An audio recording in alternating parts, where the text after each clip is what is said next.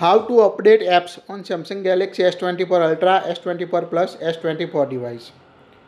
In first method, you can use app drawer. Open the app drawer.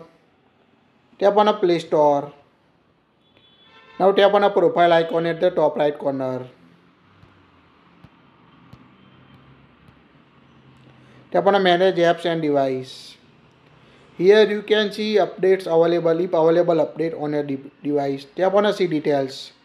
Here you can see the list of apps available update on your device. Tap on update all to update all apps automatically or to individually update the app tap on update button to individually update on your device.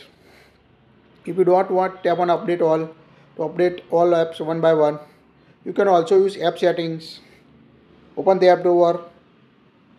Tap the settings app. Scroll down up to apps. Tap on apps here you can see list of all apps. Tap on any app. Scroll down. Tap on app details in a store.